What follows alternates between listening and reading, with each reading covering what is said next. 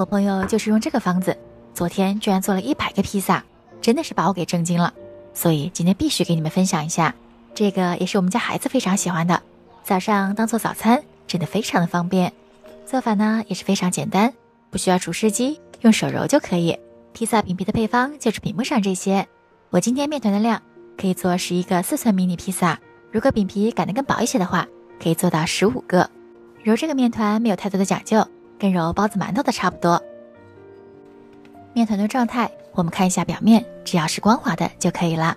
面团揉好以后，我们需要等分成十一个小剂子。具体饼底的厚薄，可以根据自己的喜好来定。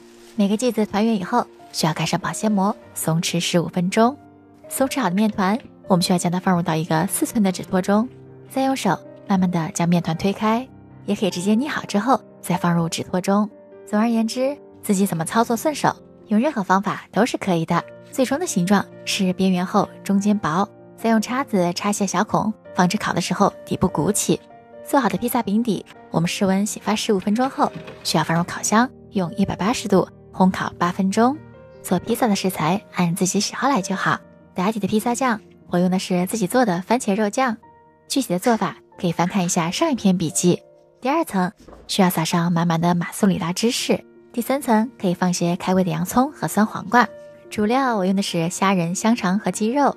最后面上再撒上一层厚厚的马苏里拉芝士，就完成啦。这个时候披萨就可以放入保鲜袋中，放冰箱冷冻保存啦。如果觉得保鲜袋成本过高的话，也可以用保鲜膜来包，只要保证能包紧实不散开，用什么方法都是可以的。冷冻的话可以保存一个月哦。平时吃的时候无需解冻，放入烤箱中，用两百一十度。